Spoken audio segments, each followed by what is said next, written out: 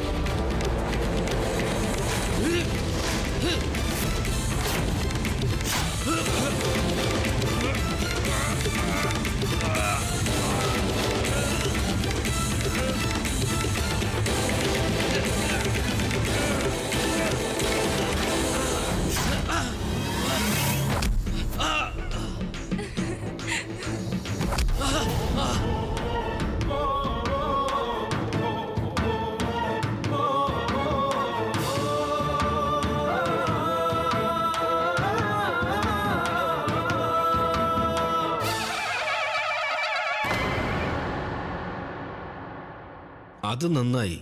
എന്താ? നന്ദി തന്റെ പരാജയം സമ്മതിച്ച് പിന്മാറിയത് നന്നായി. കൊമ്പുകൾ സംരക്ഷിച്ചിരിക്കുന്നു എന്ന് പറയൂ. നാരായണ നാരായണ.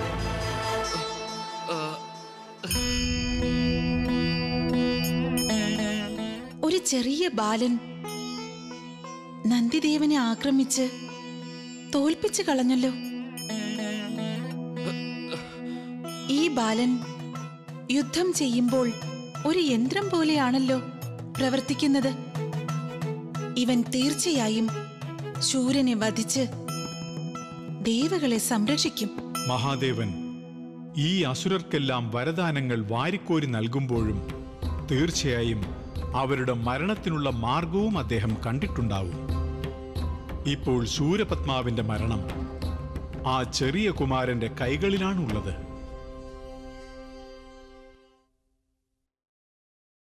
അങ്ങേക്ക് വിരോധമില്ലെങ്കിൽ ഒരിക്കൽ കൂടി കഥാഭ്യാസം നടത്തിയാലോ? ഒരിക്കൽ കൂടി.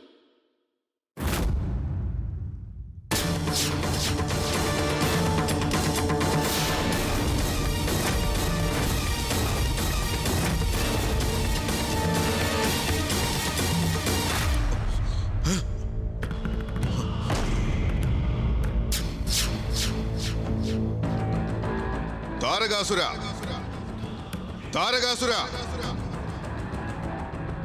എന്തു പറ്റി ചേഷ്ട എന്താണ് ഉണ്ടായത്? ഒരു പ്രധാനപ്പെട്ട കാര്യം. അതേക്കുറിച്ച് ചർച്ച ചെയ്യാൻ വേണ്ടിയാണ് നിന്നെ ഇവിടേക്ക് വിളിപ്പിച്ചത്. പറഞ്ഞോളൂ ചേഷ്ട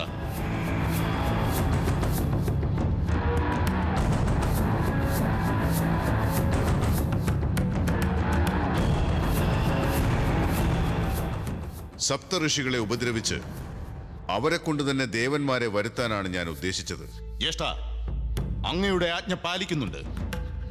സപ്ത ഋഷികളെ കാരാഗ്രഹത്തിലടച്ച് ശിക്ഷിക്കുകയാണ്. അജമുഖിയെ കുട്ടികളെ നിരീക്ഷിക്കാനാണ് അയച്ചത്. എന്നാൽ എന്നാൽ?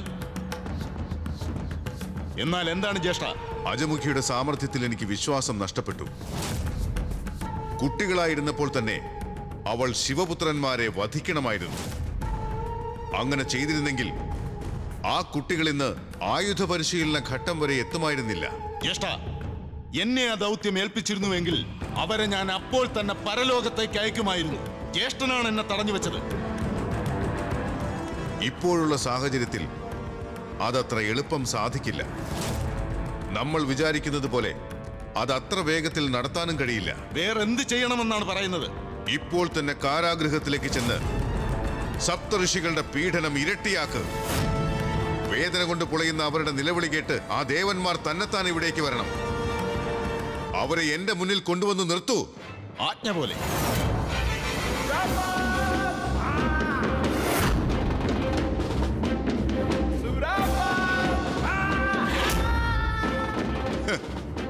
ആ ഈശ്വരന് മാത്രമാണോ തിരുവിളയാട്ടങ്ങൾ നടത്താൻ കഴിയുന്നത്? ഈ ശൂരനും തിരുവിളയാട്ടങ്ങൾ നടത്താൻ കഴിയുമെന്ന് തെളിയിച്ചു തരുന്നുണ്ട് ഞാൻ.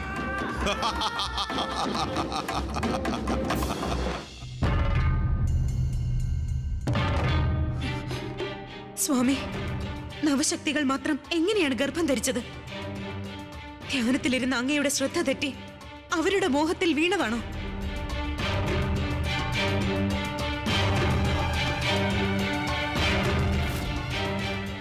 ഇതിനുള്ള ഉത്തരം എനിക്ക് കിട്ടുക തന്നെ വേണം.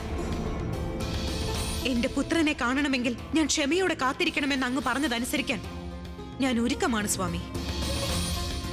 എന്നാൽ എന്നോട് മത്സരിക്കാൻ വന്നിട്ടുള്ള നവശക്തികൾക്ക് എക്കാലവും ഗർഭവും ചുമന്ന് നടക്കണമെന്ന് ഞാൻ നൽകിയിട്ടുള്ള ശാപം പിൻവലിച്ചേ മതിയാകൂ എന്ന് അങ്ങ് തന്നെ പറഞ്ഞത് എനിക്ക് എങ്ങനെ അംഗീകരിക്കാൻ സാധിക്കും സ്വാമി? നമ ശിവായ ശിവായ നാരായണായ നമ ശിവായ ശിവായ നാരായണായ ഓം നമ ശിവായ ഓം നമ ശിവായ ഓം നമ ശിവായ നാരായണായ നമ ശിവായ ഓം നമ ശിവായ ഓം നമ ശിവായ ഓം നമ ശിവായ നമ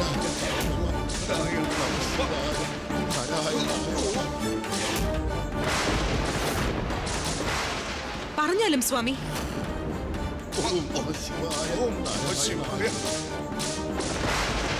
എന്നോടുണ്ടായിരുന്ന സ്നേഹം കുറഞ്ഞു അങ്ങേക്ക്. അങ്ങയുടെ ദർശനം കൊണ്ട് തന്നെ അവർ ഗർഭം ധരിച്ചുവെങ്കിൽ അങ്ങേക്കും നവശക്തികളോട് പ്രണയമുണ്ടായിരുന്നു എന്നല്ലേ അതിനർത്ഥം?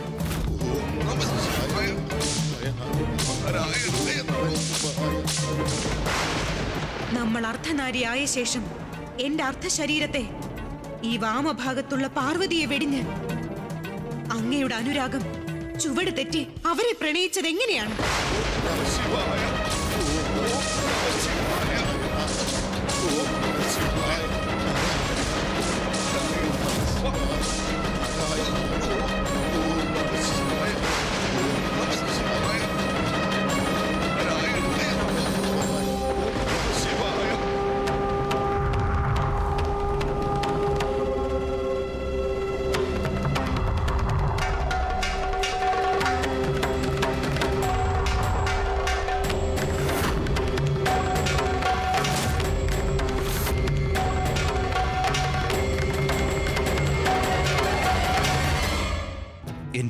കുമാര എനിക്ക് ഉടൻ തന്നെ പോകേണ്ടിയിരിക്കുന്നു.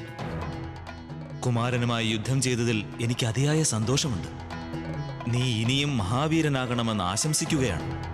നിന്റെ സഹോദരന്മാരെയും സംരക്ഷിക്കണം. നിന്റെ അമ്മമാരുടെ ഉപദേശമനുസരിച്ച് നടക്കണം. ഞാൻ യാത്രയാകുന്നു.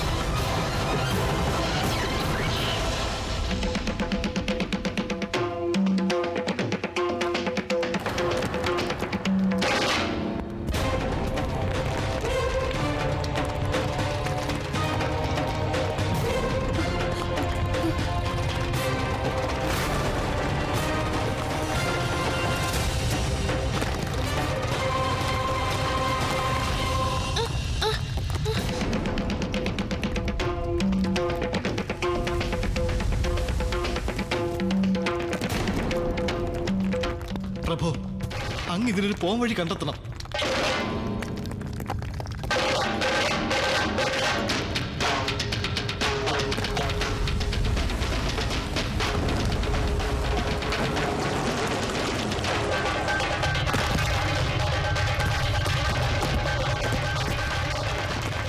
ഇവിടെ എന്താണ് സംഭവിക്കുന്നത്?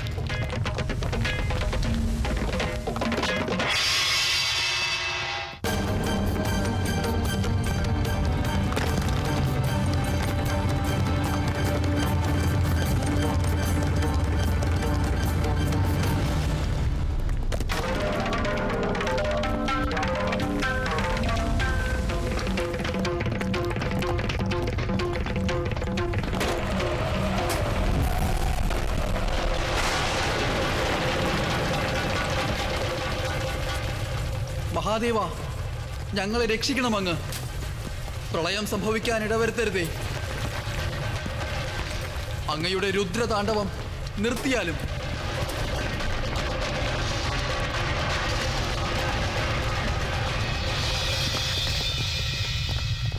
ഇവരെ ശിക്ഷിക്കുന്നത് തുടർന്നു കൊണ്ടേയിരിക്കുക ഇനിയും ഉപദ്രവിക്കൂ.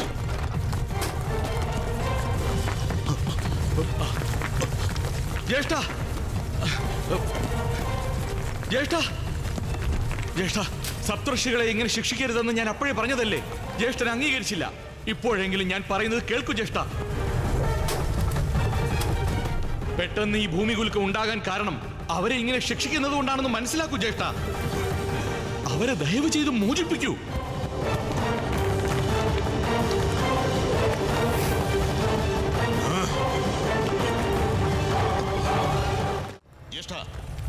വാസ്തവത്തിൽ ആ സപ്ത ഋഷികൾ നമ്മൾ നൽകുന്ന ശിക്ഷകളേറ്റ് ഭയന്നിരിക്കുകയാണ്. ഇപ്പോൾ എന്റെ ഉള്ളിൽ മറ്റൊരു ഭയമാണ്. ഇനിയും നമ്മൾ അവരെ ഇങ്ങനെ തന്നെ പീഡിപ്പിച്ചുകൊണ്ടിരുന്നാൽ ഒരു തെറ്റും ചെയ്യാത്ത ഋഷികളും മുനികളും നമ്മുടെ ഉപദ്രവം സഹിക്കാൻ വയ്യാതെ ജീവൻ വെടിഞ്ഞെന്ന് വരാം.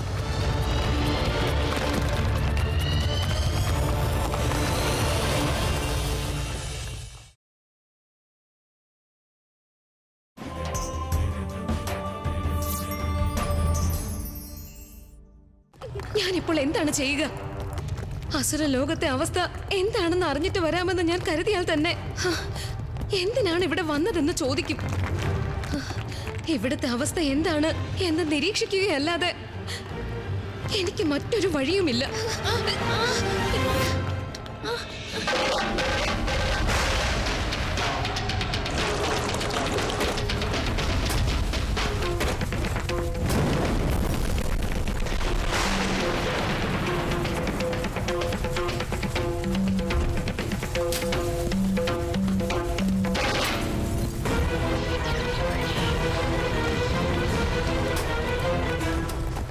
സർവേശ്വര സർവലോക നായിക. എല്ലാ കാര്യങ്ങളും നിർണയിക്കുന്നത് അവിടുന്നല്ലേ?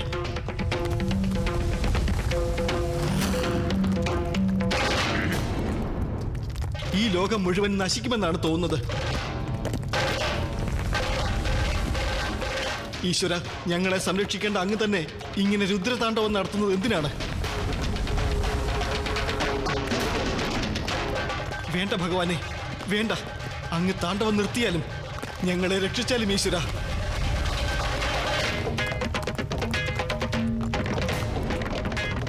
ആദിയും അന്തവും ഇല്ലാത്തവനാണ് അങ്ങ് കാലവും കാരണവും അറിയുന്നവനാണ് അങ്ങ് ഇപ്പോൾ അങ്ങ് തന്നെ ഈ യുഗം ഇല്ലാതാക്കാൻ പോകുകയാണോ ഈശ്വര? ഈ ദേഷ്യമടക്കിയാലും പ്രഭു. ശാന്തമാണ് ശിവമെന്ന് സ്തുതിക്കപ്പെടുന്ന അങ്ങ് തന്നെ. അത് വിസ്മരിച്ച് ഉഗ്രമൂർത്തിയായി മാറി. രുദ്രതാണ്ഡവം ആടാൻ പാടുണ്ടോ?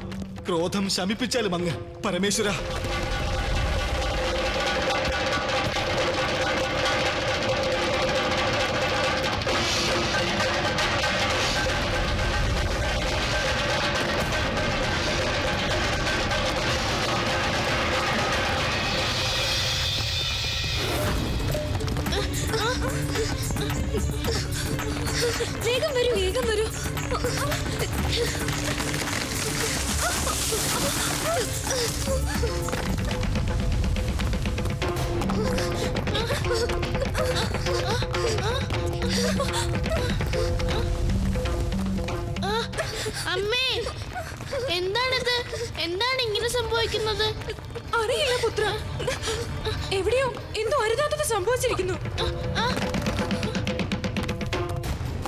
ഈശ്വരന് പോലും പൊറുക്കാൻ കഴിയാത്ത പാപം ആരോ എവിടെയോ ചെയ്തിരിക്കുന്നു. അതിന്റെ ഫലമായി പരമേശ്വരൻ തന്നെ ക്രോധം കൊണ്ട് ഇങ്ങനെ ഒരു വിപരീതം വരുത്തിയതാണെന്നാണ് എനിക്ക് തോന്നുന്നത്.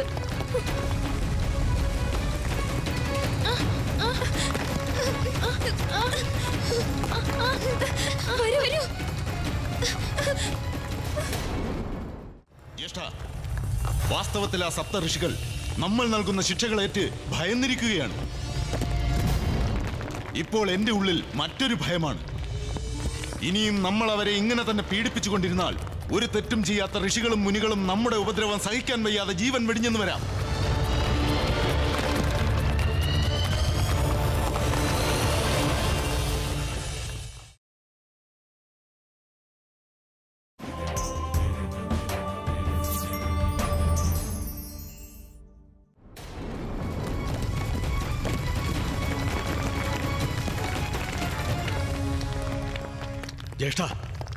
എന്തുകൊണ്ടാണ് ഞാൻ പറയുന്നത് മനസ്സിലാക്കാൻ ശ്രമിക്കാത്തത്?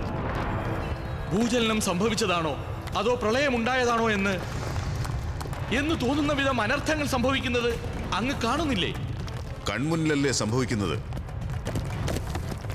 എങ്ങനെ കണ്ടില്ലെന്ന് നടിക്കാൻ പറ്റും? ഈ കൊട്ടാരവും കുലുങ്ങിക്കൊണ്ടിരിക്കുകയാണ്. ഏത് സമയത്തും ഇത് തകർന്നു വീണേക്കാം. ഇതിന്റെ കാരണം എന്താണെന്ന് ജ്യേഷ്ഠന് മനസ്സിലായില്ലേ? സപ്തഋഷികളെ ഉപദ്രവിച്ചതിന്റെ ഫലമാണിതെന്ന് അങ്ങ് ചിന്തിക്കാത്തത് എന്താണ്? നമുക്ക് ദേവന്മാരെ ബന്ദികളാക്കാൻ സപ്തർഷികളെ കരിക്കളാക്കി ഉപയോഗിക്കേണ്ട ആവശ്യം എന്താണ് ജ്യേഷ്ഠ? നമ്മുടെ സാമർഥ്യം കൊണ്ട് അവരെ കൊണ്ടുവരാൻ കഴിയില്ലായിരുന്നു. അങ്ങയുടെ മുന്നിൽ പ്രണമിക്കുന്ന അടിമകളാക്കാൻ കഴിയില്ലായിരുന്നു അവരെ. നമുക്കതിനുള്ള ശക്തി ഇല്ലെന്നാണോ? അതോ ധൈര്യമില്ലെന്നാണോ? അതാണ് നമ്മൾ ചെയ്തു കാണിക്കേണ്ടത്. അതിന് സപ്തർഷികളെ പണയവസ്തുക്കളാക്കേണ്ട കാര്യമില്ല. ദയവ് ചെയ്ത് അവരെ വെറുതെ വിട്ടേക്കൂ. സിംഹവക്ത്ര ഇതിനെക്കുറിച്ച് എന്നോട് സംസാരിക്കരുതെന്ന് പറഞ്ഞിട്ടും വീണ്ടും വീണ്ടും അതിനെക്കുറിച്ച് നീ സംസാരിക്കുകയാണ്. ഒരിക്കൽ പുറപ്പെടുവിച്ച ആജ്ഞ പിൻവലിക്കുന്ന ശീലം എനിക്കില്ല. സപ്തഋഷികളെ വിടുന്ന പ്രശ്നമില്ല. ഇവിടെ സംഭവിക്കുന്നതെല്ലാം ആ ദേവന്മാർ ചെയ്യുന്ന ചതിയാണ്. അവർ നമ്മളെ ഭയപ്പെടുത്താൻ ശ്രമിക്കുകയാണ്. ഈ ശൂരപത്മനെ അങ്ങനെ ആർക്കും ഭയപ്പെടുത്താൻ കഴിയില്ല. ഭയത്തെ ഭയപ്പെടുത്തുന്നവനാണ് ഞാൻ. ജ്യേഷ്ഠ വാസ്തവത്തിൽ ആ സപ്ത ഋഷികൾ നമ്മൾ നൽകുന്ന ശിക്ഷകളേറ്റ് ഭയന്നിരിക്കുകയാണ്. ഇപ്പോൾ എന്റെ ഉള്ളിൽ മറ്റൊരു ഭയമാണ്. ഇനിയും നമ്മൾ അവരെ ഇങ്ങനെ തന്നെ പീഡിപ്പിച്ചുകൊണ്ടിരുന്നാൽ ഒരു തെറ്റും ചെയ്യാത്ത ഋഷികളും മുനികളും നമ്മുടെ ഉപദ്രവം സഹിക്കാൻ വയ്യാതെ ജീവൻ വെടിഞ്ഞെന്ന് വരാം.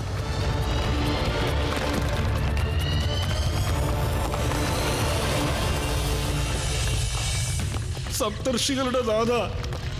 എത്രയോ അത്ഭുതങ്ങൾ നടത്തിയിട്ടുള്ള അങ്ങേക്ക് ഞങ്ങളെ ഈ ദുർവിധിയിൽ നിന്നും കരകയറ്റാനാവില്ലേ? ഞങ്ങളെ ഒന്ന് രക്ഷിക്കൂ.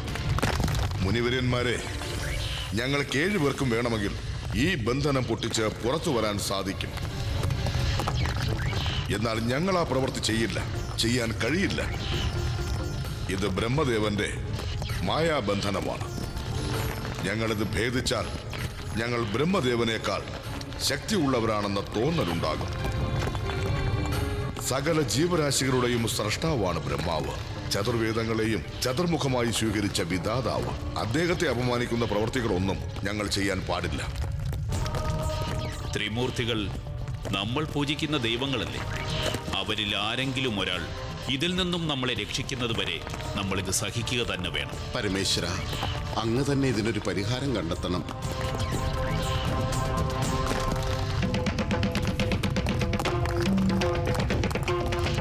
മുനിവര്യന്മാരെ നിങ്ങളുടെ അപേക്ഷ ത്രിമൂർത്തികളുടെ ചെവികളിൽ എത്തിയിട്ടുണ്ടാവും നമ്മെ രക്ഷിക്കാൻ തീർച്ചയായും അവരിൽ ഒരാൾ വരുന്നതാണ്.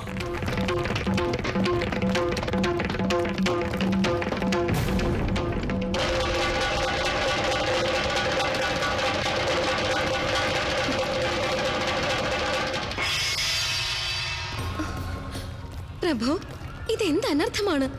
ഈശൻ എന്താണ് ആരുടെ വാക്കുകളും കേൾക്കാതെ ഇങ്ങനെ താണ്ഡവം ചെയ്യുന്നത്? അദ്ദേഹത്തിന്റെ ക്രോധത്തിന് എന്താണ് കാരണമെന്നറിയാമോ? അതാർക്കാണ് പറയാൻ കഴിയുക കലാദേവി? എനിക്ക് ഇതിനെക്കുറിച്ച് പരമേശ്വരനെ ചോദ്യം ചെയ്യാൻ കഴിയുമോ? തീർച്ചയായും കഴിയില്ല. ഭഗവാന്റെ ഭാര്യ സഹോദരനായി അറിയപ്പെടുന്ന ദാമോദരന് പോലും അദ്ദേഹത്തിന്റെ അടുത്ത് പോകാൻ ധൈര്യമുണ്ടാകില്ല. എന്നാൽ അദ്ദേഹത്തിന്റെ ക്രോധത്തിന് എന്തോ ഒരു കാരണം തീർച്ചയായും ഉണ്ടാകും. നാഥ ഈ നില ഇങ്ങനെ തുടരുകയാണെങ്കിൽ സകല ജീവരാശികളും നശിച്ചു പോകില്ലേ?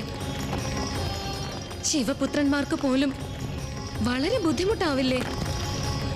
അത് അദ്ദേഹത്തിന് വളരെ നന്നായി അറിയാം. അന്തകനായ ദൈവം സംഹാരമൂർത്തി എന്നൊക്കെ അദ്ദേഹത്തെ വിളിക്കുന്നില്ലേ? എന്നാൽ പുതിയ സൃഷ്ടികൾക്കും അദ്ദേഹമാണ് ഈശ്വരൻ എന്നുള്ളത് ഞാൻ മനസ്സിലാക്കുന്നു.